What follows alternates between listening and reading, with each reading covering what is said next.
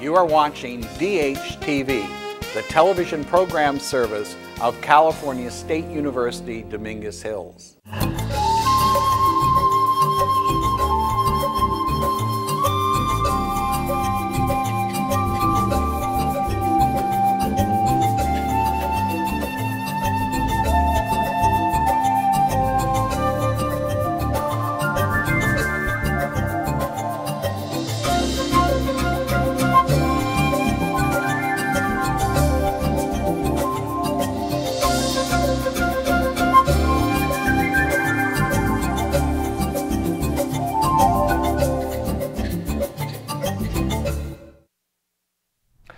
Good afternoon and welcome to Bio 190 Intro to Marine Life. I am not Kira Matthews. I am David Bader uh, from the Aquarium of the Pacific. I'm the Director of Education filling in for Kira today.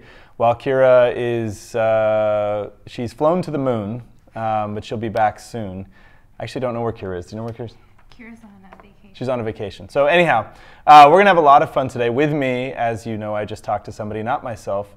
Uh, we have uh, Raelene Bautista from the aquarium as well, who is going to be talking to us a little bit about um, echinoderms and arthropods. So that's what we have scheduled for today to talk about. Before we get into that, Kira wanted me to make a, a few notes uh, to you guys. Something to remember uh, is that after today's class, there is a quiz. So at the end of uh, the, the session today, and you have the next week to do it, there is a quiz. Make sure to, to get that done as well as uh, the field trip paper has been posted. It's due November 6th, so remember that. Um, and then there will be a midterm the week of October 23rd. So there are a few dates here. If you missed any of that, we'll repeat them a little bit later and at the end of the class, but I'm sure that most of the information I've just said is also available up on the Blackboard site for the, for the class. Now before we begin, I should probably introduce myself other than my name. My name's David Bader, of course, and I'm the Director of Education at the Aquarium of the Pacific. This course that, that you're taking right now is actually something that I used to teach um, before I, I, got a few promotions at the aquarium. So uh, several years back, we won't say how many, I was also leading this course, and it's a lot of fun for me to get a chance to be back here in the studio uh, teaching the program. But what makes this so much more exciting is when we get a chance to participate with you. So you see the number right there, 800 339 1193. Please use the number. Give us a call or send us in your, uh, your email in or your chat in questions. It really makes it um, so much better for us to know that it's, uh, there's a real world out there that's paying attention to us. Um, so it's really not for you, it's for us. Uh, make sure you send in your questions and, and your comments, your feedback. This program is, is for you, so make sure it, it's, it's something that you are vested in and give us a call or send us in some questions and we'll be happy to, uh, to answer those as best we can. We're good at making stuff up too. Um, so uh, without further ado, I'd like to introduce uh, Raelene. Here's Raelene. Hello, everybody. And Raelene. Hi. Um, you may remember me from last week. I was here to teach you all about sharks and stingrays. So um, it's awesome to join you into our next session as we transition into an animal that's or a group of animals that are less recognizable, like our uh, invertebrates that we have. So, all right. So we're going to be talking gears. about two different groups of invertebrates today. Um, echinoderms and arthropods are, are, on tap for us. Of course, we'll be focusing on marine examples for both of these uh, different groups of animals.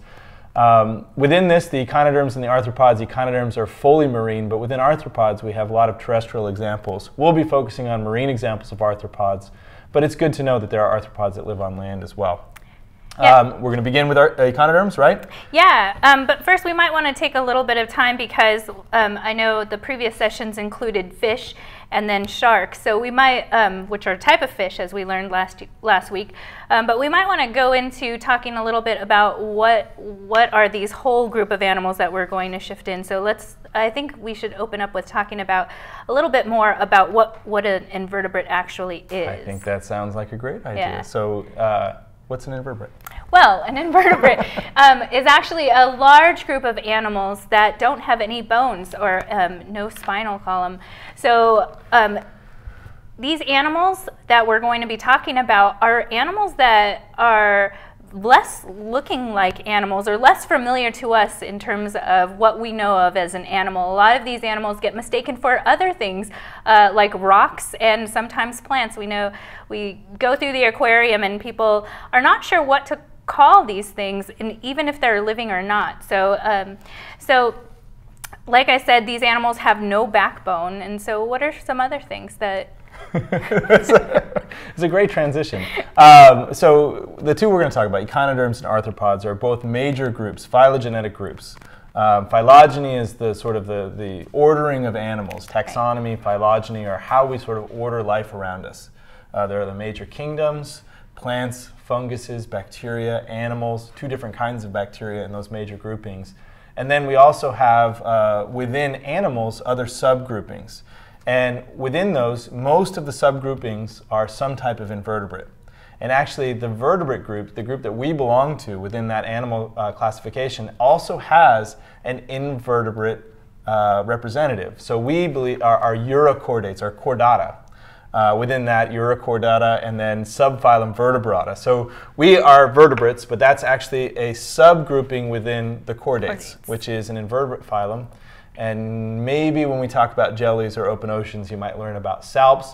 Or if you've been to the beach recently, uh, this past summer, lots of jellies like animals, these salps that were all over the beaches, which are actually animals more similar to, to us than they are to the rest of the sea invertebrates. that they look like, yeah, exactly. So we're going to focus on just two right now. We're going to go over some other ones in other classes. Today it's all going to be about echinoderms and arthropods. Now, we'll start with echinoderms. Let, us let's, let's begin with that. And before we start talking about the general characteristics of how do you know you're looking at echinoderm, what are some of the representatives from this group? So the, the name, maybe they've heard it before, but let's, let's demystify the science word. Yeah, so you might not know what the term echinoderm is, but if we give you an example, for instance, uh, a sea star or a starfish, I'm sure many of you have heard of those, those terms. Uh, sea urchin is another one. And then these little animals called sea cucumbers, and actually some of them are really big and some of them are really small. Um, and then there's things like sand dollars are another example of all animals that belong to the group called echinoderms. And we've bought a few of those representatives today, some of those uh, dried out animals. And um, I think it's probably about a good time that we pull up a, a mystery animal, right? Yeah. I, am sure that Kira does this as well. So throughout the day, we're going to put up a, an animal. And uh, are we good for right here? Yep. Um, if we can focus in on that, if you can call in or email in with your guess as to what this animal may be, and uh, maybe if we put it there, maybe we can. they're going to be chasing sorry, with the camera sorry. now. Um, if, if you call in or email in, you know, give us your guess. I'm a big fan of giving extra credit for really good guesses. Um, so as close as you can get to uh, defining the organism that we have in front of us, um, then uh, we'll, we'll, we'll start to pass out some extra credit. Maybe you guys will end up with A's after today just by adding up all the extra credit you may give. Uh, make sure you let me know who you are, and uh, make sure if you don't notice me writing your name down that, um, that I do that too. Uh, Ray will keep me honest as well. So yep. call in or email in with your guess as to what this organism may be. So Ray, start us off with defining an echinoderm. Now you mentioned sea stars, uh, sea urchins, and sea cucumbers, all animals that we may or may not be familiar with already, but they don't really seem all that similar to each other. So what are some of the defining characteristics? So the group of shared characteristics for many of these are what we call radial symmetry, and that means um, that means if we cut them in any direction, we're going to get mainly two equal halves. Now, this is true for many of them, and you can take a look. Here's a couple of examples that we have back here. Um, and if we were to kind of cut them in half, um, maybe like a maybe like yeah, that. or or what you can think of it more as like a wheel, right? If we have a wheel and kind of circle, you can cut them and kind of create this pizza pie shape and get like a, a very similar half. How about that? That that looks much better. so. Uh, so, uh, so that's a that's a, a shared characteristic that they all share. Another one is um, something called an endoskeleton. Now, um, it's it's what we have, and that means basically an endoskeleton refers to a skeletal structure inside of the person's body surrounded by tissues. And even though many of these animals look like their skeleton might be on the outside, um, but it's actually, they have a layer of, of thin tissue that covers them. And so their, their uh, skeletal system is infused. So we had a guess. Um, I, I, believe I'm going to say Marquis is your name, but if you can give me a, a, a more full name, so we make sure to give you credit. Uh, guessing that it's a skeleton of a brittle star. Because you're in the right uh, phylum of organism, I'm going to give you a plus one. It's very similar to a brittle star, uh, but it is not a brittle star. It's actually a different kind of organism. Um, so the, uh, the animal you see behind us, this is again, we've, we've seen a sun star that was behind us a second ago. Right. This is now a knobby star. So when we're looking at an echinoderm, we're not actually looking at the, the shell of the animal. That the shell is actually on the inside um, and there would be a layer of skin on the outside. So if you were to touch a sea star, sometimes you know they have the knobby projections and kind of spiny bits, but below that there's going to be a slimy bit. Right, yeah. And, and depending on the species of animal or the species of sea star that we're looking at right here, you can actually, some are more softer and have more of the pronounced tissue than what we see right here with our knobby star. If you were to go to the aquarium and touch one of these stars, you'll notice they feel very hard, much like you're feeling the shell of an animal. And, uh, but they do have that layer of tissue that covers over their, bo their bodies. So one of the fun bits about these guys, sea stars, um, uh, echinoderms, and chordates. Maybe this is not fun at all. they're, they're both belong to a group of invertebrates that are the um, the deuterostomes. Uh, yeah, I, I don't know, even big know words. uh, the first cell divisions, when egg and sperm come together for an echinoderm, are actually exactly the same as for uh, us and the rest of the, the, the chordates. So echinoderms and chordates are more similar to each other than the rest of the invertebrates. So while the next animal group that we'll talk about, the arthropods, have arms and appendages sort of like we do, they're actually very dissimilar to ourselves in the way that they actually uh, grow and, right. and reproduce. So these guys, again, kind of more similar to us. Matthew's taking a guess as to what our mystery animal is as a dried out sea star. I'm not going to give you extra credit, Matthew, because we just got Brittle Star in there. We know we were at, uh, uh, Marquis got in before you for the right phylum. So let's, let's bring this up again, our mystery animal. It's not a Brittle Star, and it's not quite a sea star, um, but we're, we're in the right group of organisms. It, it may be outside of uh, the, our, our, realm of experience here. But uh, maybe if you were to Google, I know you guys are on computers yep. right now watching this. Google is your friend. Look up different types of echinoderms and see if you can guess what, uh, what we're looking at here on our mystery animal. So it's not a sea star, it's not a brittle star. It's definitely dried out though, Matthew. It's, it's not alive right now. All right. Um, okay, so we have an endoskeleton, we have radial symmetry. Uh, what else sort of defines the group? Another one is the water vascular system. And so what that is, it's unique to echinoderms and it's, um, it's these water-filled canals. And here's an example or a diagram of this water vascular system. But it, it's, uh, it's actually what helps to move their tube feet.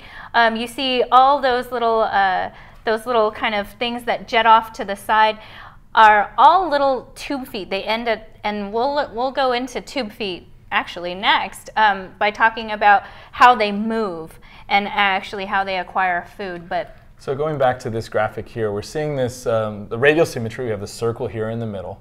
Um, and then all of these little kind of sacks in here. What are these little things? And can you tell us a little bit more about how this all functions? Yeah. So um, so it begins with there's that extension up there. Um, it's called a madreporite, and that actually brings in water. So it acts like an equalizing valve to pump in water, and that's what moves um, these little extensions, which are tube feet. So if you've ever gone to the beach or picked up a sea star before, you'll notice they're very sticky and um, they're they're actually really hard to take take off, some more than others. But if you manage to take one off, you might look at its underside and see that along the lines of these, um, what we call arms of the sea star, are these little tiny little noodle-like, they look like, uh, they look like little macaroni and cheese kind of sure. noodles. And uh, I like to describe them as that. um, and here's an example right here. Um, the tube feet um, so these are all what we're talking about those little tube feet. That's, the, that's where they extend out, and that's what they use to move, as well as to do what's called gas exchange, so basically breathe. Yeah, so these tube feet, the cool thing that I think about them is that while most animals will uh, push or pull or tug using muscles on a hard structure. So we have muscles and tendons attached to bone that move things. And uh, John has guessed if it's a sunflower star or sea urchin. Sorry, I'm jumping around here. John, good guesses, but not quite yet.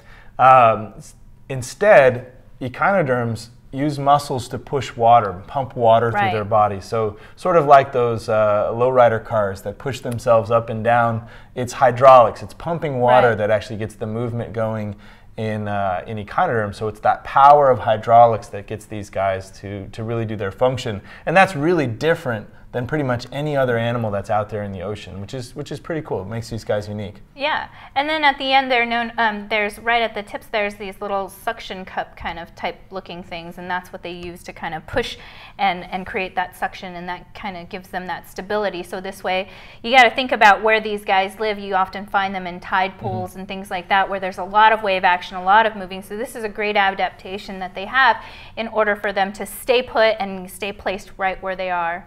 And I think we have a video and we have some more animals. You can see these guys exposed at low tide. Now, if anybody's ever gone, uh, here they are moving. You can see the, the tube feet moving. It's a really quick video. We'll play it a couple times. Um, but those, uh, those tube feet are really what are sort of pulling them along. And we can imagine this is a radially symmetric animal. One thing, question I always have is uh, which arm's leading? Who's moving forward first? Uh, because again, this animal is experiencing environment sort of equally from all sides as a radially symmetrical animal. Um, so it's really amazing to, to think about how are they coordinating all of these limbs and moving forward with just a simple nerve net. There's no central Yeah. nervous system, no brain or anything like that, um, but still able to do the things that they need to do. Really quick, because we have people who probably are watching right now who go tide pooling. Uh, if you're interested in marine life, you probably get down there. The tide pool is a great place to investigate the ocean, and you may have been tempted at times to pick one of these guys up out of a tide pool. And uh, while I would suggest you don't do that, leaving things as they are, I know people watching are probably very curious, and they probably will do, even if I tell them don't. Or they you may do it know of a person. or you maybe you know of a person. Thing is about these guys in particular, if they're stuck on there good, their arms will actually rip off. Their, their tube feet will rip off before they move off of that rock. But if you grab them quickly and they're not locked down to begin with, you can actually surprise them and pull them off a rock when they're not actually sucked down. Um, but if they don't come easy, they're not coming They're at all. Yeah. And uh, a lot of these guys don't like being out of water. They live in the low intertidal, actually submerged. We've actually had trouble with our urchins sometimes in our, our touch pools at the aquarium. If they get exposed to the air, it actually sort of, their, their insides uh, maybe, I don't know, fall apart. It's the water that's sort of holding them up there. Uh, so uh, don't do it. Keep them underwater. uh, look, maybe touch gently. Try not to be too invasive if you if you go check these guys out. But definitely go down to the tide pool to see them. And echinoderms are one of the amazing things that you'll get to see. Uh, if you do, we have Anastasia guessing that it is a sun star, which is a really cool guess because sun star for our mystery animal. If we could bring that up again, um, is uh, they have lots of arms like this guy here. But one thing I want you to notice that instead of having 25 arms like a sun star has, this guy's only got five. So if we look at it, we just got one, two, three, four, five, with lots of little bits that come off of it. Um, a lot of the bits on the top here have been uh, broken off. This would extend out much further. Um, so definitely an echinoderm, definitely dried up, but it's not actually uh, a sea star in the typical sense that we would we would talk about these. It's uh, it's its own group of echinoderm all to itself. So yeah, it's a neat guy here, and, and we'll, we'll we'll give him up in a second. Marquis came in first with a with an extra credit point, so I don't feel too bad.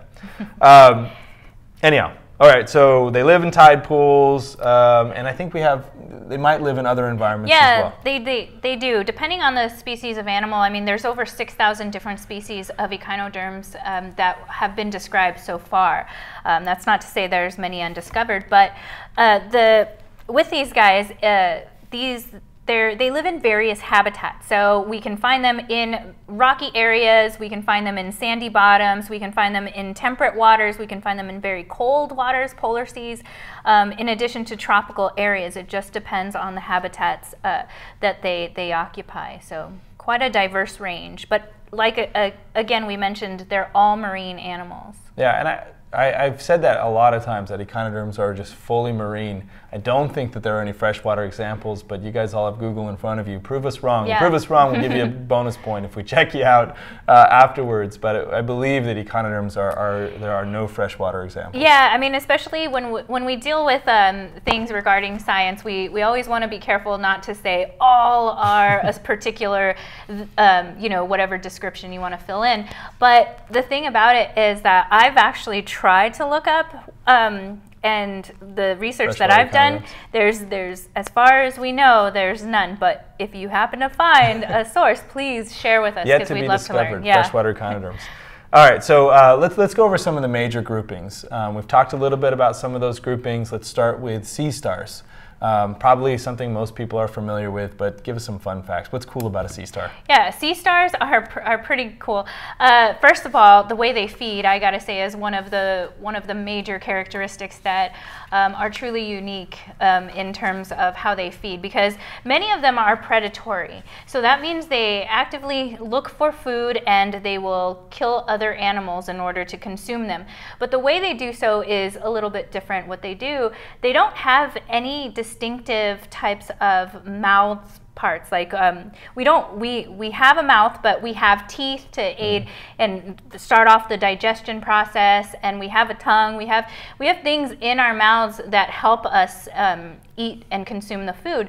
However sea stars don't necessarily have that. So it's almost like they got to bring their um, their digestive part out in order for them to consume the food. So they have to bring the food to their stomach and, and not the other way around. I think you need to slow down, rewind. Yes.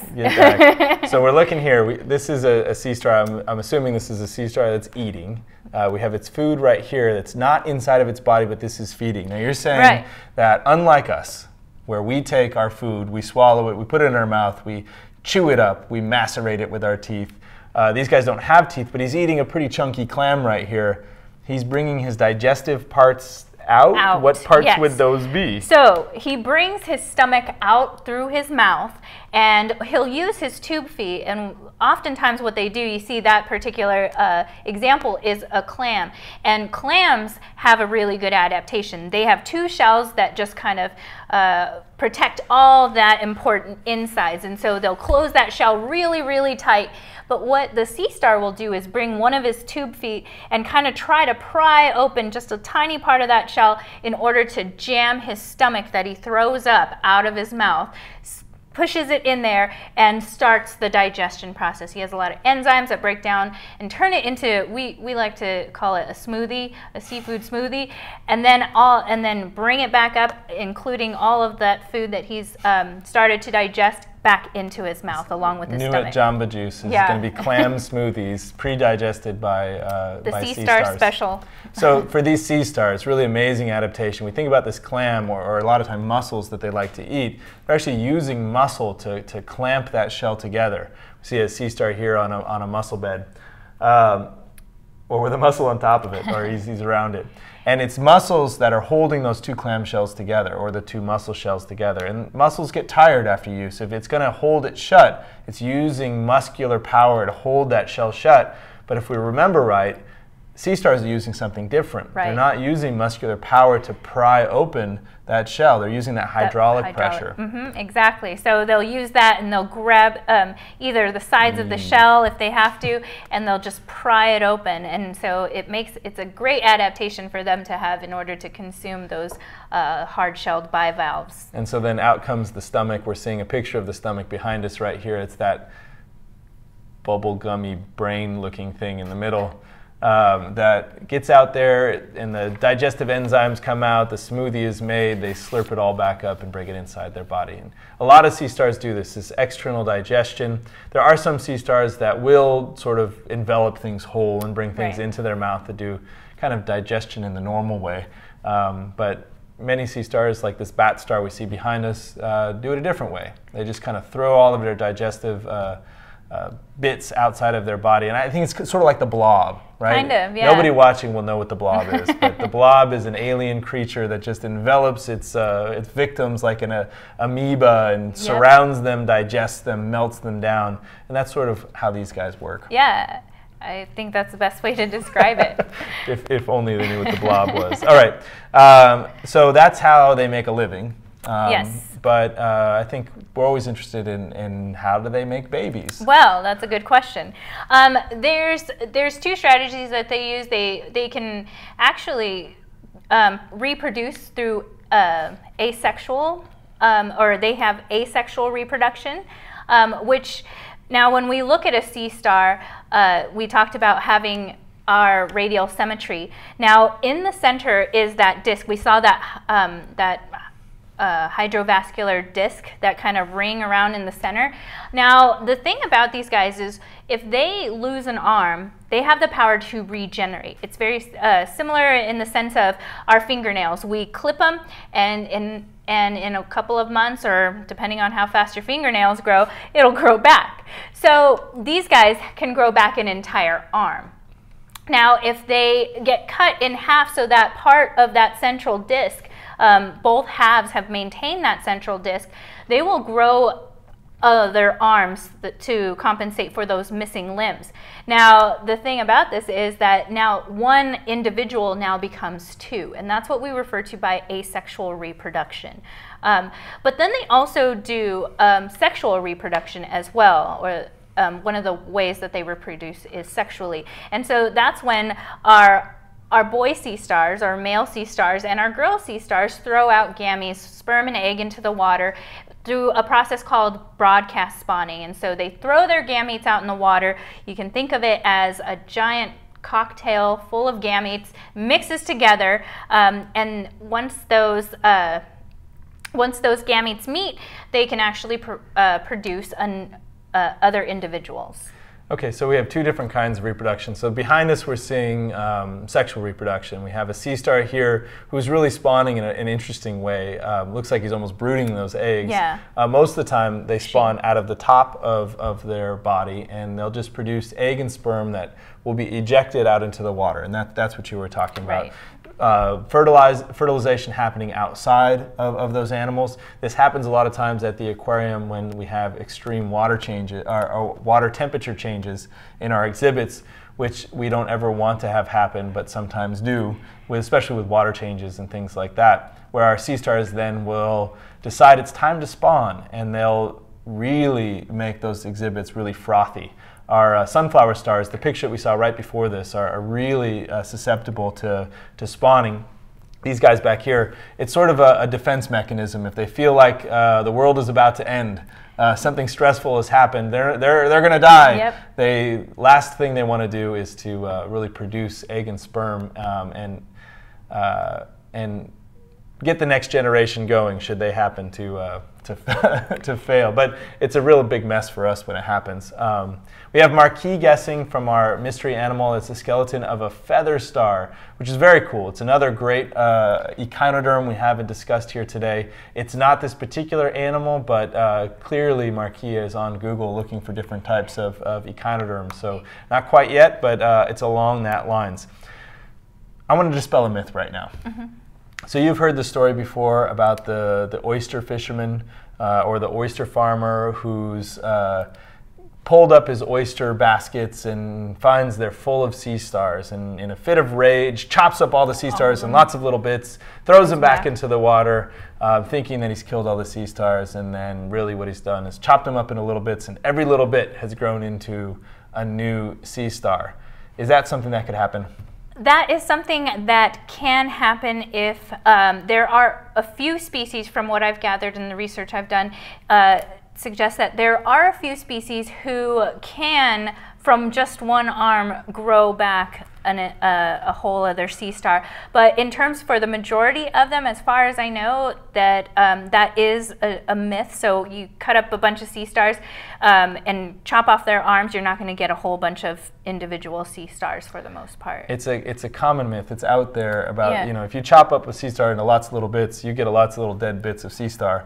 There are very few sea stars. Like Raelene was saying, if you cut them right down the middle, you might get two. You might just get one dead sea star. Right. Uh, it's pretty traumatic to be chopped in half. Uh, if you lose an arm as you're a sea star, you could die from that. Uh, Right. you- infections. You're going to have to put a lot of energy. If you had that energy to invest in growing a new arm, if it's available. You know, it's, it's going to be a stressful thing. Uh, certain types of sea stars can grow a whole new body from just an arm or a bit. Uh, but that story is, is just, it's not true. Yeah. I've, I've actually investigated where it came from, uh, and it's hard to find out. But it's a story that's been around for Yeah, and decades. I've, I've heard many people tell that story over and over again, and so that's what led me to do a, a bit of research on it. And I forget the species of star, but they, they suggest that there is the possibility of them producing. Um, other individuals, and I'm not sure. Um, I'm thinking now that it might just be that asexual separation because, w- um, as far as we know, and the more we learn about their anatomy, you need that central disc. It's very, very important because it has all the main parts to create another like your individual. stomach, yeah, and your exactly. mouth, and all of Yeah. those other bits. All right, we have two more guesses for our mystery animal. Uh, Joshua at Crown of Thorns Sea Star. Good guess, but not correct. And John, hopefully there's no other Johns in class because John, you just earned plus one with, uh, I think you meant a basket, basket? star. It says basket yeah. star here, but it's a basket star uh, is what we have here. So go ahead and Google image search basket star out there, guys, and uh, take a look. Um, it's a really interesting animal. They unfurl these arms that you see right here uh, to catch plankton as it drifts down. Uh, and they, they gather them up, bring their food down to their mouth here in the middle. It's a really beautiful animal. We've displayed tropical versions of this guy at the aquarium before. Um, very fragile, uh, something you're only likely to see uh, in maybe a tropical environment, possibly in a, an environment around here, but it'd be rare and unlikely to see something like this. It's, it's a really cool animal, so check it out. All right, we spent a long time talking about sea Yeah. stars because they're cool. Uh, but there are other cool echinoderms out there, and great job, John, by the way, for, uh, for using that image search. Um, I'm guessing that's how you got it. Uh, sea urchins. Let's talk about sea urchins. So people are terrified of sea urchins. Yeah, they think they're all poisonous and they're all gonna hurt you, kill you. We're talking ya. about the, uh, the spiky ball things. Um, so tell us a little bit more about sea urchins. Uh, so sea urchins are another member of the Echinodermata fam- or phylum, and um, you can see this is a great picture because it shows um, sea urchins. They can move; they're mobile, but they they don't move very fast, and a lot of them do this um, burrowing that you see. Now, all of maybe we can yeah Take a look at that just kind of check that out right there. You can see that he's kind of stayed there long enough so that he's made this almost like this burrow in a rock. And so if you've ever tried to burrow in a rock, it's not the easiest thing to do. I've often tried to burrow in rocks, found it to be unsuccessful. So these guys have this really cool behavior. You might see these in the tide pools. The holes they're living in, they've actually sort of chewed out themselves. Um, so tell us a little bit more. What, what makes a, a, a sea urchin cool? What do they do Yeah. in life? So sea urchins, um, generally, um, many of them hang out in, in rocky areas, as you can see. Um, but uh, one of the things is that these guys eat kelp, and if you're if you're local, you'll know that kelp grows along our coast, up and down our coast. Um, and these guys, they can cause a little bit of trouble by eating too much kelp and mainly eating uh, the fronds of, of the kelp or the leaf part of the kelp. And so they too many of these can actually cause a little bit of problems but these guys generally they're pretty good um, at in terms of their adaptations i mean they're well suited for their habitat. They have those spiky um, projections those spiky spines right surrounding their entire body offering protection because inside um, are a, uh, many of them yeah many of them are harvested actually for um, for their insides or for their reproductive organs actually. So um, these guys these guys are harvested uh, by us as well as a lot of animals out there eat them So, uh, unlike sea stars, you, you mentioned before sea stars, they don't have those kind of chewing parts, but these guys you say eat algae, so Right. they have a, a pretty unique structure to do that. Yeah, they have what's called an Aristotle's lantern, and um, in in their underside, there's a picture of it right there. It kind of looks like a almost like a claw machine, if you're looking at it It also extends. in that way. Yeah, and it extends down. And what we've done, this picture is actually looking at what we call a test. Um, an urchin test is kind of like their skeletal structure. Remember, they have that endoskeleton.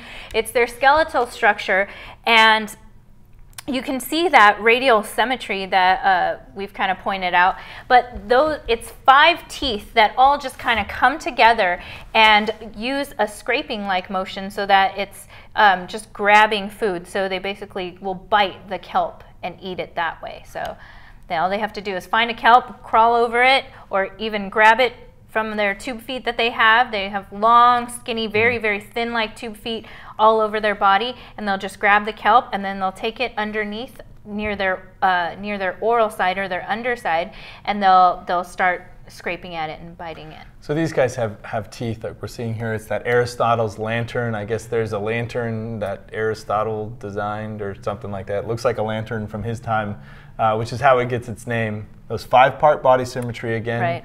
Uh, again, I don't know if we mentioned five-part body symmetry before. No, um, but you can look. I mean, Let's you can look. see right here. There's um, the extensions right here, and there's five. You can kind of five-way symmetry is what I typically how I describe them in terms of you can cut them in five equal parts.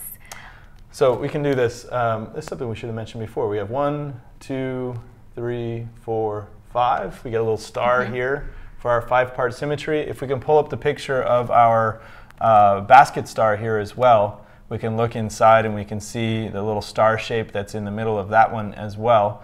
Um, they have, again, the same sort of pentamer symmetry or right. five-part symmetry. We see a little star there in the middle with five bits, five arms that come out with it. And then we also, you brought with you a, a, an urchin test. Yeah. So this can, it's Maybe harder, much harder to that. see the, um, the five-part symmetry on let's see, it's probably easier on this side to see the five-part symmetry. Um, I'm going to say it's impossible to see the five-part symmetry as we describe it here. But what we do see in, in our urchins is, um, I mean, you can see there's, there's bigger knobby bits for one, uh, two, three, four, and five. So it's there. It's just a little probably more difficult to see. But again, this doesn't look like that picture we just saw, right? Right. Where are the spikes that are coming out of it? Remember, these guys have internal skeletons. So when you see these, this is the internal skeleton of a sea urchin because they don't have external skeletons, mm-hmm. they have internal skeletons. Um, so that's what a, a, sea urchin looks like. All right, um, so that's how they eat and what they eat. Uh, you might want to remember that Aristotle's lantern. I yes. don't know. Could be on a quiz or something. Maybe. Um, also, uh, how do these guys protect themselves? You mentioned the spikes, but they have a really neat, neat thing that they do as well, um, aside from the spikes. Yeah, well, they first of all they they have those spikes, and those spikes are all projected from those little knobs that we saw on the urchin test. Um, but they they do have um, what's called pedicellaria, and this is something that is found not only on our sea urchins, but on our sea stars as well. And so these guys, you can think of them, I mentioned before, they're very, very slow moving. Um, so out in the ocean, there's a lot of things drifting around. We, we refer to it as plankton. Um, but the thing that floats around sometimes will end up wanting to settle. So, um, for instance, you'll have uh, sponges or you'll have encrusting algae, things that, um, things that will end up falling and settling to the bottom. And sometimes they end up settling right on other organisms. So for instance, for this sea urchin right here, um, you might find something settling and the more it settles the more it grows and expands and this could really harm a sea urchin and so what they have are these little tiny combs and um, they're and if you go out to the tide pool, you can even see this with the sea stars. You might not be able to see it, but you can feel it. And so if you have arm hair, for instance, you can place it over uh, the, the top of a sea star. Um, it's better to do it with a sea star than a sea urchin because of those spines, but you'll actually feel them grab you. And what they do is they can move, and by moving, they're actually moving uh, organisms that might potentially harm the animal from settling on them. So there's the they're called pedicellaria, and they they you the best way I can describe it is just go out to a tide pool, put your uh, your arm hair on a sea star, and you'll feel it. I promise. so, and, and what's really cool is these guys, the some people know that sea urchins can be venomous. Right. Most of them are, are not, or at least not dangerously venomous. It's the pedicellaria that actually are providing that venom to, to that organism. So uh, the defense mechanism, we see this in our touch pools Right. every now and then. For an urchin, these spikes are really going to be great for protecting it against fishes, sea otters, things that might be trying to pick at it or, uh, or, or grab at it with soft parts. But a sea star comes by and wants to eat these, they can just, the blob comes out, can go around those spines. How is it going to protect itself against the sea star? Those pedicellaria then come up, and the urchins will actually lay down their spines. They won't have them be upright. If a sea star comes by, they can lay down those spines, put up those pedicellaria, and basically pinch uh, the bottom of that sea star to keep it from wanting to eat it. It's Yep. a really neat thing. So you might see that we, if you come to the aquarium on our leather stars, often they'll, they'll have these if they've crawled over one of our purple urchins accidentally. And again, like Ray said, if you want to play a joke on your friends next time you're down at the tide pools, you could do it yourself, or you've just learned a lot of cool things about sea stars. Uh, you've learned that they uh, have pentamous symmetry, they spit their stomachs out to eat. One thing we forgot to mention is how they see. Let's make sure we Oh, talk yeah. about that. As you're talking about all of this, though, you have them put their arm on the back of that sea star. In the meanwhile, all those pedicellaria grabbing hold of their arm hair, uh, and then you have them pull their arm away and they go, ouch Yes. And it's fun. So uh, we, we did forget to mention one thing about sea stars that makes them pretty cool, and that's how they sort of experience the world. Um, how do they? uh, Mostly, we want to talk about the fun fact we want to give you is how they see. Yeah, so um, so I brought the sea star out so we can kind of take a look at it, and at the end they have what uh, what's called photoreceptors. So they these guys don't have eyes. Instead, what they have, and here's a here's an example. It's kind of a little hard to see, but right at the tips they have kind of like this this little um, gap, but you can kind of make it out. It's usually a different color.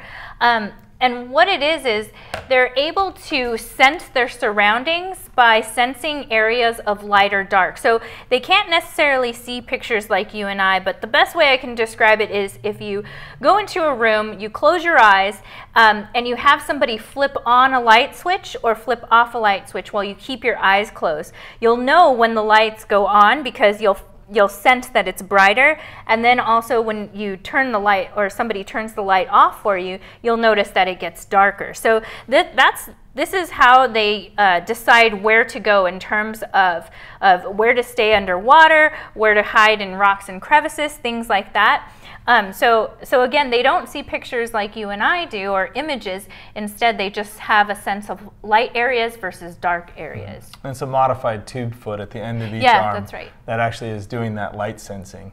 Um, so that's how these guys, at least one way, and I'm sure there, there's chemosenses, they're tasting the world around them, they're smelling the world around them. They can see to some degree, like Ray was saying, but really just the difference between light and dark. All right, so we've, we've done a lot of talking, which is what we do here. Um, let's do one more uh, echinoderm, and that's our sea cucumbers. Kind of, it's kind of my favorite. I mean, it, I it kind of breaks. my favorite. It kind of breaks all the we rules. both have the same yeah, favorite? we can have we can right. favorite sharesies. So. Um, the next one that we're going to talk about is the sea cucumber. And the sea cucumber, like I said, it breaks all the rules, or not all of them, but it breaks a lot of them, just enough to get by. Here's an example of one. Um, these guys can be found uh, in, in areas, um, they generally live towards the bottom. So they're what we call benthic animals. And uh, you can see they look like they would be spiky, but if you've ever felt one, you'll notice it feels quite different, doesn't it? It does. These guys are actually really slimy. Yeah.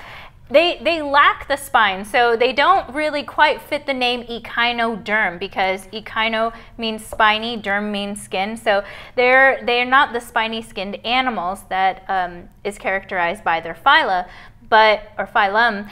And these guys also, but they share this um, five way symmetry. And from what I understand, we can look at them bilateral in, in a bilateral symmetry sense because if you were to split them down the center just like you and I, we'd get two equal halves. But um, these guys also share that five-way symmetry from what I understand, but it's as if we took a sea star and we switched them and and kind of stretched them out long ways. There's still that five-way symmetry as far as um, I was able to Do ever, understand. Do you ever do this, eat the echinoderm with your hand? Huh? No. So, okay, sea star out Mm-hmm. here. Then we have urchin right here. And then we have cucumber right there. Yeah. Eh, eh, I like that. you like I like that, yeah. cucumbers, Lena? But all the tube feet, then a lot of them are on the bottom. Right. So these guys are the kind of the rule breakers. So again, sea star out there with the five arms and the oral and aboral sides, and then you get your urchin. You bring those sides around. You have your aboral and oral sides.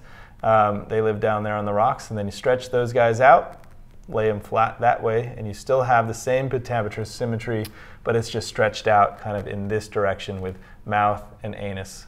Uh, sort of as you should expect them for an organism Yeah. to be on the front and on the back side. Um, but speaking of mouths and anuses, what are these guys uh, uh, eating? What do they do? Well, they actually um, they actually graze on a variety of different things, but mostly we consider them uh, detritivores. So that means they eat detritus. And another word for detritus, detritus is waste or organic material that has just kind of settled to the bottom. Remember, these guys are bottom-dwelling animals, so they've um, they will they will use these modified tube feet and here's a we have a picture of them right behind me right here. Um, now these these these are modified tube feet and they branch at the end. So these branching areas allow them to suspension feed. And so they'll just kind of wiggle these um, these uh, appendages out in the in the water, and whatever floats by, they'll grab them and they'll put them right in the center of their uh, right in their mouth. And that's what we're seeing with this guy here. He's sort of licking his fingers right here and, Mm-hmm. Right. and pulling off the food. And they'll add, there can be planktonic feeding, like you said, suspension feeding, uh, sea cucumbers that are catching plankton out of the water, or even ones that are just sifting through the sand or the mud, right? Yeah. So and and you'll see these guys sometimes we'll see them out in the aquarium and it's always really interesting because they do it in such a slow kind of methodic way. It's like really savoring and licking your lips. it looks very much like that. Uh, but like I said, these guys have these these tube feet and it's those uh, modified tube feet, very similar to the eye of the sea stars. And these guys are sort of like, uh, you know, earthworms or, or uh, sort of like uh, vacuum cleaners. you Yeah. know? What goes in them is, uh, or what comes out of them is probably not as uh, dirty as what, what comes out of them because they're eating sort of the leftovers. In our exhibits, we don't feed our sea cucumbers directly. They're actually eating the waste products of the other organisms within that exhibit you know, probably eating the epifauna that's growing on them, the bacteria and other decomposers on that waste. They're feeding off those and also digesting probably whatever is undigested uh, from those other organisms. Cleaning all that up so it comes out of the other side is, is you know, cleaner than when it went in. These guys filter a lot of sand. So on a sandy beach, um, if you've ever gone to the beach, you've laid down in your sand, you put your finger through the sand, you got to thank those sea cucumbers because they've done a good job of cleaning up that sand for you and making sure that there's not a lot of organics in it. And that would make it really stinky and not such a fun experience, right? Right. Yeah. So these guys, um, and again, to kind of go along with the the rule breaking idea, um, these guys they they don't have those that spiny skin, and many of them they don't. So you would think what what would be what would they have on them to protect them? What would they protect themselves with? So they have this really cool, um, really cool process of defense, um, which we Can't see it refer to as evisceration. So depending on the type of sea cucumber, uh, right there you can see that is, it looks like it's anus. Now depending on the species, some can eviscerate or um, exit out their intestines and they either do that through their mouths or their anus and that those intestines are pretty sticky uh, and what will happen is they'll kind of scrunch up into a little ball eviscerate their intestines or other organs those organs will get uh, entangle whatever potential predator is trying to attack them um, distracting the predator and giving these guys a chance to kind of scooch away And that's the really professional way of saying they spit their guts out on whatever it is that's trying to Yeah. eat them uh, and grow a whole new set of guts Yeah. uh, later on. Yeah. Um, so from what I've the research that I was able to gather, it they suggest sometimes it could be up to a month, um, depending on the species. So it'll take a while for them to regenerate their intestines, uh, but eventually they'll regrow all their intestines and they're they're able to eat again. So um, as far as I know, they kind of get that one chance to defend themselves. Then hopefully uh, they can evade predators and and kind of stay out of sight um, until they regenerate some more defense. which is pretty cool. And I know I wouldn't eat something that just spit its guts out all over me. Uh, well, Ray, I think if we if we can uh, take a short break for just a moment, uh, and we'll we've finished up with echinoderms, um, and what we'll do is is begin a whole new segment in just a second on uh, arthropods with a focus on crustaceans. So if you have any further questions from what we've talked about today as far as echinoderms, uh, go ahead. You can e- call in or you can email in those uh, during the break. Think about those because remember you're going to have a quiz on this at the end of at the end of class. So we're going to take a short break and we'll be back in just a moment. You are watching DHTV, the television program service of California State University, Dominguez Hills.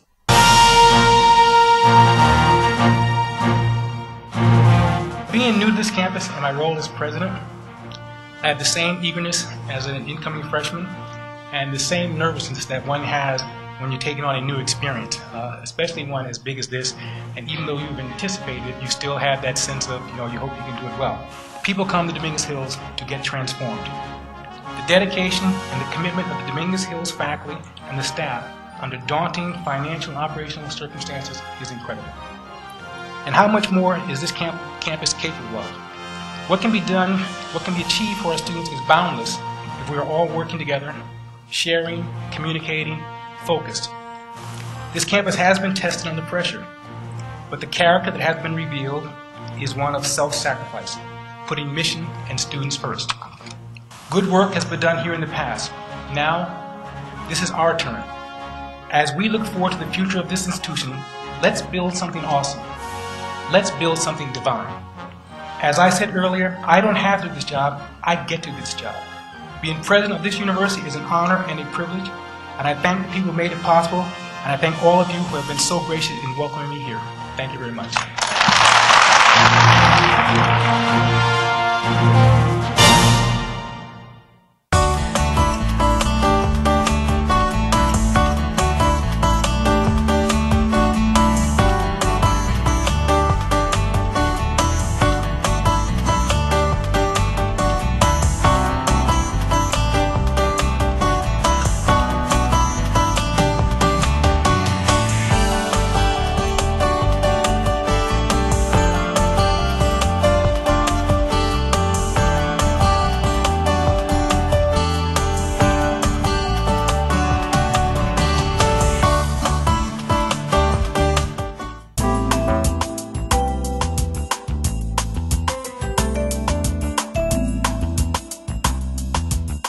California State University Dominguez Hills Orthotic and Prosthetic Program is unique among the 11 accredited programs in the United States.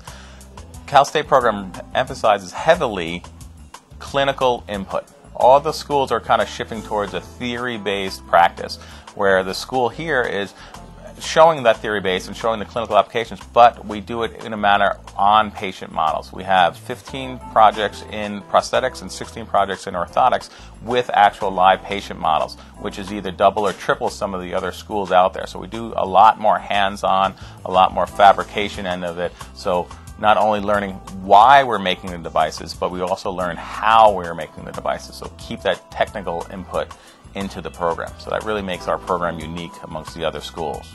For students looking to get into this field and find out a little bit more about prosthetics and orthotics, there's a few different resources for them. The National Commission of Orthotic and Prosthetic Education, ncope.org, has a great website to get some more information on. And we do have a specific website for careers in orthotics and prosthetics that goes through how you come, become a practitioner, how you can implement your skills, and then learn about the, the various schools and what they offer. And that's opcareers.org. So opcareers.org. It's a great website to get more information on them. Our um, site, calstatedominguezhills.edu.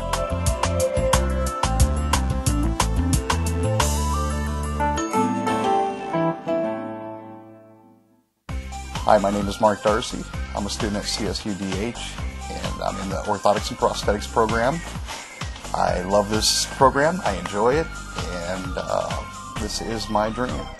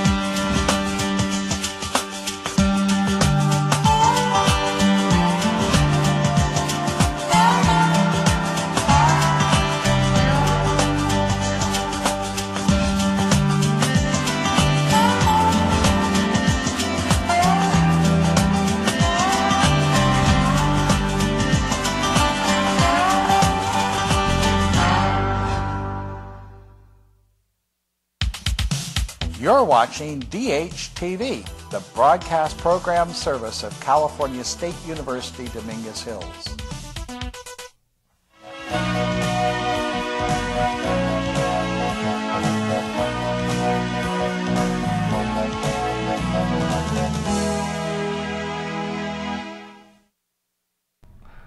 Welcome back to Bio 190 Intro Marine Life. Um, we have a, a, lot more to talk to you guys about, and we're going to do our best to get to all of it. I think the most important thing that we can do, however, is give you more extra credit.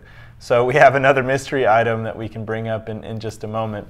For our mystery item, I want to focus on not just what it is, but why am I showing it to you? So full credit on our um, on our extra credit here would be to tell me and this is our mystery item here. Um, I want to know what is it, but more importantly, I want to know why am I showing it to you now? Why is this our mystery item? How does it relate to the, the topics that we are discussing today? Okay, so that's our mystery item. So uh, arthropods and a focus on crustaceans is our next little bit. So Ray, can you give me an impression of an arthropod, your best arthropod impression? There. There you go. That, and uh, it's not very good, um, but we'll work on it by the end of uh, the end of lecture today.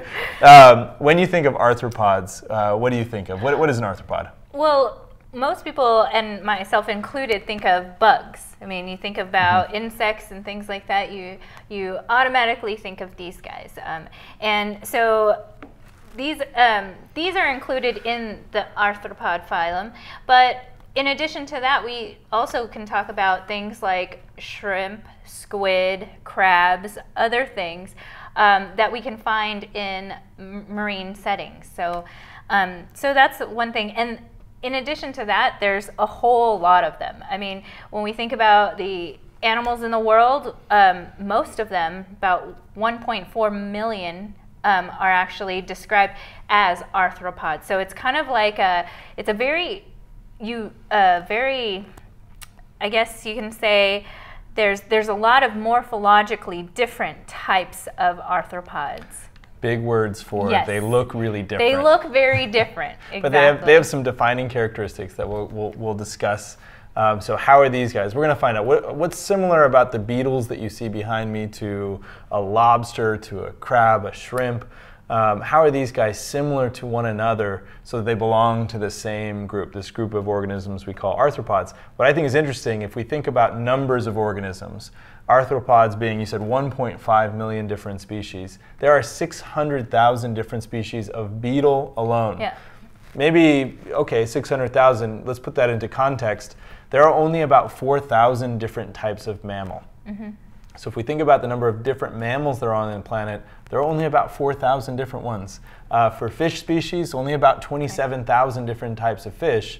Uh, for mollusks, um, those would be, I don't know if we learned about mollusks yet. Those Not would be yet. our uh, squids and our uh, clams and, and things like that, and snails.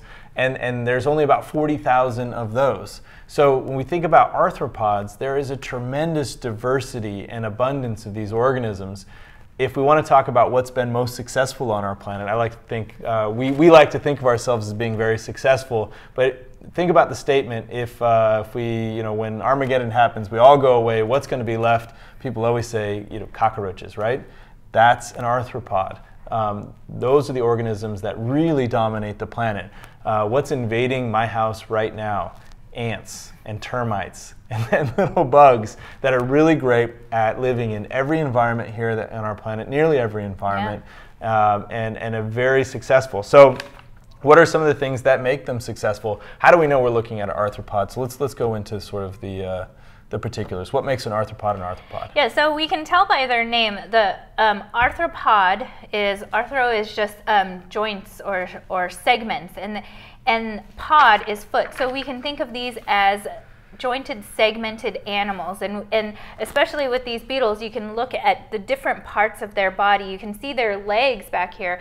Um, their legs are in, in different sections. And these guys are jointed animals. So there's um, usually characterized by the three main body parts, which are their head, their thorax, and then their abdomen. So if you look from the, the head part, that's their head.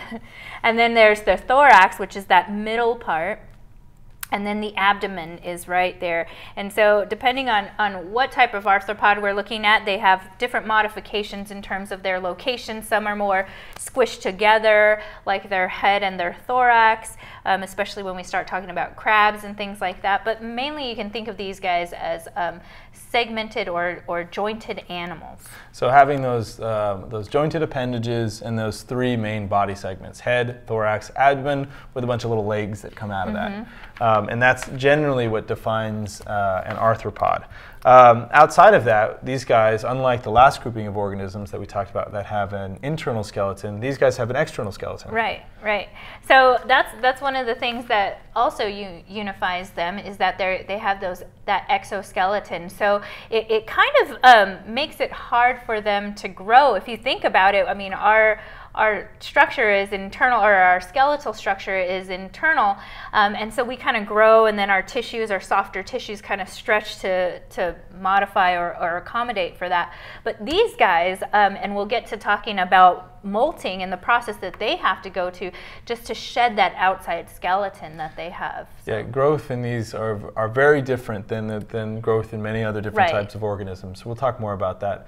Uh, we have Alyssa coming in with a guess of our mystery item as a skeleton of a gooseneck barnacle. Uh, it's not a gooseneck barnacle, but you are correct in barnacle. Now, the important thing though is uh, why, why barnacles right now? Why are there barnacles up here? So for full credit for, um, all right, Alyssa, we'll give you credit for barnacle, but why, uh, why barnacles? Why is that topical right now? So Alyssa, plus one for getting barnacles. Uh, let's see if we can get another plus one out of you guys for saying, why are we talking and why, why, is, uh, why is that such a mystery? Maybe it's not a mystery. She got it right off yeah. the bat. um, but maybe the mystery is why we're showing it. Yeah. Okay, so exoskeletons, I think it's cool. Made of chitin. Yes. Uh, why is that important? It's not, but um, the other thing in our, our, in our universe and our planet made of chitin on the outside, mushrooms. Weird. I always thought that was weird. I didn't know that. Yeah, weird, huh? Okay, so let's keep. Maybe it's not weird either. Let's go to the other part, and it's that their eyes are also characteristic, right? Yeah. So um, whenever we think about bug's eyes, or we have that bug's eye view, we have lots of little images. We um, these guys have something called compound eyes, so they see multiple images in one of their eye stalks or their eye structure, um, and that's and that's allows them to be very uh, receptive on what what their environment is and and the movements mm-hmm. around their environment. Um, so if you've ever tried to catch a fly, um, you know they, they, it seems like they're reading your mind. They know exactly when you're going to come, but they are basing all of that on movement because they are projecting inside their their mind. They're um, they're processing tons of pictures of the same image to get that sense of movement. So. And as far as eyes go, I think there's there's only a few different ways to make an eye mm-hmm. uh, that, of, of, the organisms that we have. We talked about the light sensing organs organs that are on many different groups of animals that just tell the difference between light and dark. Uh, and then we have eyes sort of similar to our eyes. So all of the vertebrates have the same kind of eye. Interestingly, mollusks have pretty much the same kind of eye. It mm-hmm. functions in the same way. It's not exactly the same, but it functions the same way. Some jellies have an eye very right. similar in function to the way that the mollusk eye or the, or the cephalopod eye in our eye works. The other way to do an eye is a compound eye, and that belongs just to these arthropods. So it's a pretty neat way of making their way around the world. Um, and of the uh, arthropods that are out there, there are a few kind of main groups. If, if you know, just basic things you should know about arthropods. So, what are the main groupings of, of arthropods? Um, well, we have a number of different types, but one, the first one that I would like to talk about is one that uh, is no longer in existence. It's actually an extinct form of uh, arthropod, and that's the trilobites. Um, so the trilobites, and um, the fossil record has um, shown these guys to be around as um, as far back and date as far back as 550 million years ago. So that's a very very long time. That's a long time ago. Yeah. So these were very once abundant arthropods that are extinct today. And if you you know go to the Smithsonian Museum or any kind of fossil shop, you're sure to find uh, these trilobites. Be like going into a, a store with amber today and Right. finding insects, uh, arthropods, other arthropods embedded in those insects. These are sort of the same kind of thing. They'd be part of marine sediments. At that time, uh, there was nothing crawling around on land. Um, these guys were the first sort of creepy crawlies uh, that, that were around. So the trilobites were one group, and then we have a few others to mention. Yeah, um, you may be familiar with these, the next ones, which are uh, horseshoe crabs. Um, so if you've ever seen, these guys are not very common off, or they're not com- found off of our coast, but they're found in uh, the eastern side of the United States. And we can also find them in the Pacific Ocean, but mainly on the other side of the Pacific Ocean, so the western side of the Pacific Ocean. You can find these guys sometimes. Um, insects are another one that we've kind of talked about. Um, but then the one that we're going to focus on is mainly crustaceans because a lot of these guys um, are, are mostly marine, not all of them. There are a few exceptions. But um, when, when we talk about these guys, um, here are some examples. I mean, this this guy happens to be uh, a shrimp, a peppermint shrimp, I, I think, um, or coral banded. Sorry. Get it right. I know, sorry. Um, but this is another example of an arthropod. So um, you might be familiar with this particular body shape of our marine species of arthropods or marine examples. And these guys, um, there's approximately 67,000 different types of uh, crustaceans. So the important arthropod for marine environments being crustaceans. There's a couple, uh, you know, marine insects, and there's, uh, you know, a handful of, of uh, freshwater or terrestrial crustaceans. But for the most part, uh, crustaceans are marine. Uh, we have Isabella. The mystery ar- uh, object was a barnacle because it lives on the reef and is also a detritus feeder. Uh, that is a wonderful guess, um, but not quite correct. So it, it can live on reefs um, and, like a cucumber, could feed on detritus, although these guys, barnacles, mostly feed uh, on plankton that might be drifting by. Um, and Alejandro is guessing that we're discussing these barnacles because their outer shells are similar to arthropods. They are similar to arthropods. In fact, so similar to arthropods because they might be, Landon's going to say, are arthropods. Yay! Yay! I thought we might. So um, Brandon comes in. Barnacles are arthropods.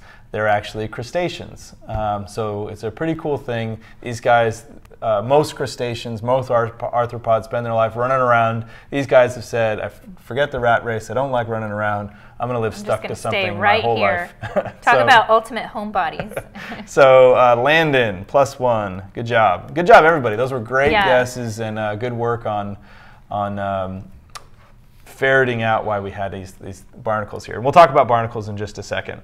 So crustaceans, just incredibly important organisms to food webs.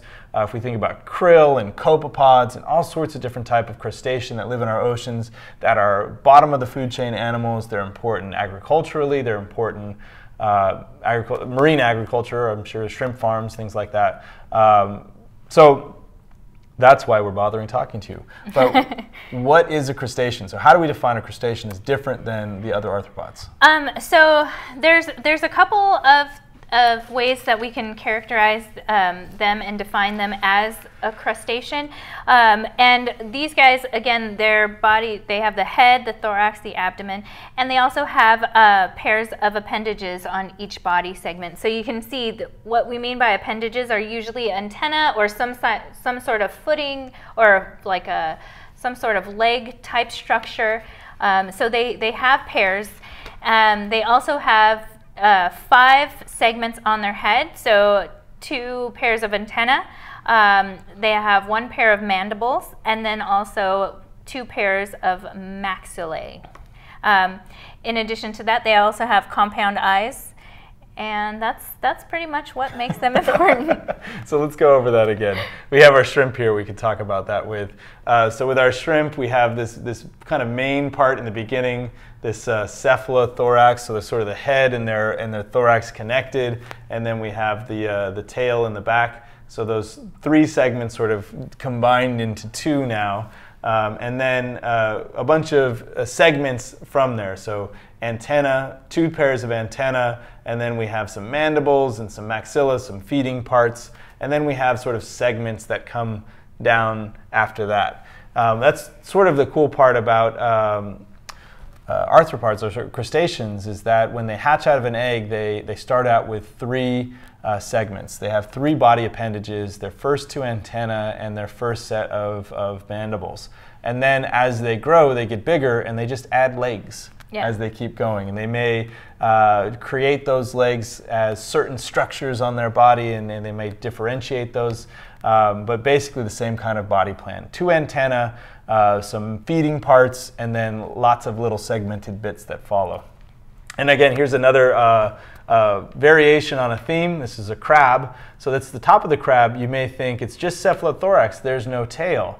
The other side, underneath, turn over a crab, you'll see the tail uh, connected to it. So again, same sort of body plan, uh, just variations on a theme. And that's what Ray was talking about earlier. Uh, the morphology, what we see on the outside, uh, is, is sort of malleable. It's variations on the theme, still jointed appendages, uh, still those main body parts, but we can kind of twist them and pull them into various different uh, styles. Yeah. Uh, okay, so that's what a crustacean is.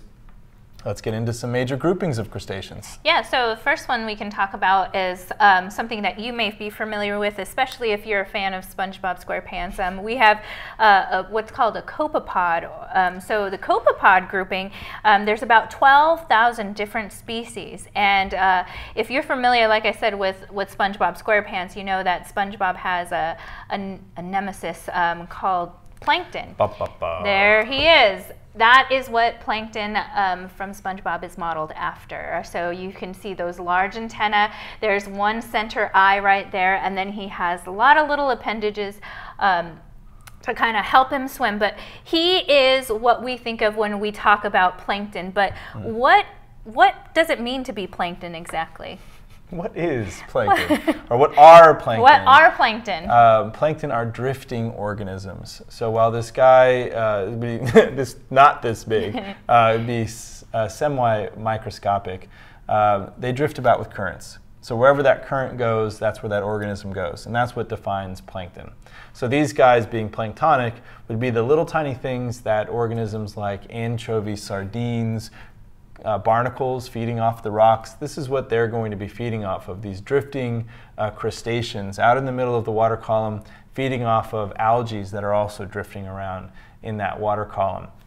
Amazingly important animals. If you build a plankton net, freshwater or saltwater, and pull it through any kind of uh, green water in a lake or in the ocean, you're going to most likely come up with a copepod. Very ubiquitous animal uh, in, in freshwater and in marine environments. Um, so that's why it's an important organism to, to know about. They can be free, free drifting, they can be living uh, on rocks, grazing off of surfaces. Uh, they can also be parasitic, Parasite. uh, right. which is, is pretty interesting as well. So a lot of diversity within copepods. Um, outside of copepods, we have amphipods. That's another right. kind of thing that you would see a lot of. Um, and people might, if you're a fisherman, you might know about scuds uh, other little kind of shrimpy things you'd see in between rocks or uh, sand fleas, yep. uh, the, beach, hoppers, beach hoppers, all different kinds of amphipods. Maybe I stole all your material. Yep, that's What's all I got to say about that. Tell me about so amphipods. There, there's about 8,000 different uh, described species of amphipods, and um, here you can see Ooh, really these cool guys. One.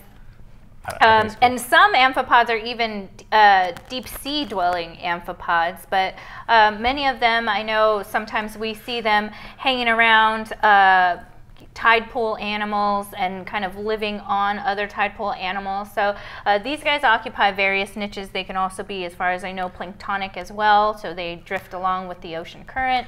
Um, so if you're participating as part of a class and maybe your teacher's gotten a plankton sample um, or, or you've have the opportunity to do that, you can recognize an amphipod in the dish because they are, um, they'll always be on their side in the dish. They're sort of tall, more tall than they are wide. So they end up on their side on the dish. Um, as opposed to the next uh, kind of ubiquitous type of, of arthropod that we might see, sorry, crustacean that we might see, which are the isopods. So we have copepods, amphipods, Amphipods. like we have behind. Ah, And this guy. I don't like him. He's creepy. Sorry, Um, go, go. So, yeah, I will, I'll talk about him. I feel like he's gonna crawl This guy is our uh, is an an isopod, and uh, it's our giant isopod. These guys can be pretty big. Um, they can get up to 19 inches. Now, um, you'll notice he resembles a land uh, species uh, of isopod, which are roly-polies. Um, so he's very roly-poly-esque.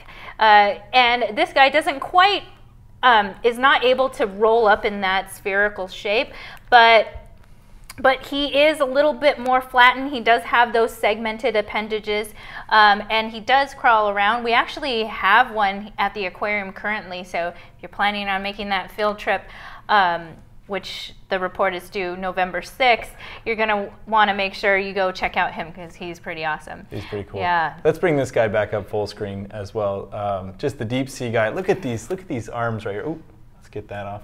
Look at these arms right here. He's got these two big, wicked front arms. Uh, deep sea animals that just sort of scavenge and, and find dead things and eat them. Uh, they don't do a whole lot of moving in our exhibits, although our volunteers have said they've watched one of these guys zoom across the exhibit, land on top of a shrimp, and, and go to town on them.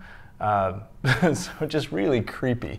Uh, but again, isopods being sort of smashed flat and wide, um, and then roly-polies and sow bugs, you know, they're the kinds that don't roll up. Right. Both different types of crustacean that live on land. Kind of cool. All right, so those are our copepods, amphipods, isopods. If you're going to know a pod, know those three. Um, and then and also oh, our one more other kind types of pod. of pods, um, which we're going to be talking about because they, they vary, uh, are the decapods. Now, there's examples of decapods include hermit crabs, true crabs, shrimps, and lobsters as well. So let's talk a little bit about this guy right here. Uh, this guy is an example of a hermit crab. So uh, hermit crabs live a little bit different lifestyle than other crabs that you might be familiar with. These guys um, have the segmented appendages, that exoskeleton, but on their bottom or their abdomen, they don't have that uh, that hard shell or that um, that that exoskeleton and it's actually really tender and susceptible uh, to predation so what they have to do is they have to find a shell and depending on the size of the hermit crab they have to find a shell to match so that they tuck their abdomen inside um, in that shell. And that shell is not acquired um, or it's not found on their body. It's actually they have to go find that shell. And as they grow larger they have to find a larger shell. Now the shell usually comes from a mollusk. So what kind of mollusk? so mollusk? like a snail or a gastropod gastropods um, that's a group of animals that um, that make these hard shells and they have to go find them either they have to uh, they'll sometimes fight each other and they will or they'll find an abandoned shell It's really, it, it's a pretty cool thing. This is a pet peeve of mine that um, the shell that this hermit crab has on its back is a snail shell. So hermit crabs, uh, their adaptation is to live inside of a hermit, uh, uh, uh, abandoned shell. They don't make the shell; they find the shell. Uh, they don't actually get the snail out of the shell either. The, Right. the, the snail is no longer living inside of that. And sometimes uh, competition for these shells can be really fierce. I've seen video of hermit crabs uh, jumping into a, a snail's shell basically while it's being eaten by, the, by a different type of snail, a predaceous snail. He's eaten out most of the inside of, uh, of one type of snail and he just jumps ship out of his shell into the new one so he can be the first one in there uh, and, and get at it to begin with. So there can be some fierce competition for, for these shells as a resource. But again, it's not his own shell. Right. It's a shell he's found. And it's an uh, advantage for a hermit crab because they don't have to produce a very thick shell to protect themselves. They're just taking advantage of the fact that snail shells, marine snail shells, are sort of all around and able to move into. exactly So uh, we also have these different kinds of, of, of crabs that we call kind of true crabs. That we have these hermit crabs. Uh, oh, good question from Alejandro. Are any? I'm guessing eh, are any uh, hermit crabs edible? Um, I you can eat them. don't know, You know what? There's uh, coconut crabs. I don't know if people eat them, but coconut crabs get to be like yay big. Um, they're called coconut crabs because not that they're only the size of coconuts, but their claws are big enough to crack open a coconut shell, and they're actually a type of hermit crab. Um, so I'd imagine you could eat a coconut crab, uh, but there's not like a commercial uh, fishery for hermit crab. Not that yeah, I know not of. that I know of. Yeah, that's a really good question. They're usually not big enough to, to provide too much meat. But these guys have lots of meat. If you uh, if you find the answer, please share with us. Yeah, or if you try one from your tide pool, let us know how it tastes. Um, so then we have these sort of classic crabs here, the true crabs that look like uh, Dungeness crab or the shore crabs that we see. And these guys sort of help us define what decapod uh, is all about. Right. So these guys, um, there's about 10,000 different species, and mostly most of them have, or all of them have, actually five pairs of legs. So that's how they kind of get that name, decapod. So five Um, and so five. five and five equals 10, and And the pinchers deca. count as a leg. Yes. um, and so so that's usually that's how they get their name, decapod. All right, so after crabs, the other thing we like to eat, Shrimp. and tell us a little bit about shrimp. All right. Well, there's about uh, 20, 2,600 different types of, of shrimp. Um, now, these are very, very important commercially. I mean, we talked about true crabs, and um, many of, of the crustaceans that we can find in the ocean are, uh, are, are very, I guess, Edible. beneficial, edible. Yes, thank you. Um, and uh, and so these guys, um, here's an example of a shrimp. Um, some of them, this guy happens to be a, a cleaner shrimp who is going to work. He's actually looking like he's cleaning a clownfish. So that's how they get their name. Um, and they generally have an elongated body with a thin shell, so it's different than a lobster or a crab. And you can see that there's an example right there. Um, and uh, the the thing about these shrimp is uh, that some are cleaner, so they pick off different parasites and things like that off of other organisms. So they live uh, in what's called a symbiotic relationship with another animal, where uh, animals are working for, against, um, or together in some capacity. So that's each other. three different types of symbiosis, which Right. I'm sure we can cover later in the class too. This would be mutualism, where they're both benefiting. He's getting a meal, he's getting cleaned off. We have uh, Alexander. Would a hermit crab die if it never found a shell? Uh, it wouldn't necessarily die because it hasn't found a shell, but it then becomes very vulnerable. It doesn't have that protection. It doesn't have. It's a very soft-bodied animal, so it's be easy food. We've had in our fish tanks at the aquarium uh, hermit crabs that have grown big didn't really have a shell to move into that sort of just hang out outside of a shell. They'd be a very stressed out animal. Um, so they wouldn't have to die, but they're probably likely to die. Uh, and then, John, are any crustaceans or arthropods poisonous?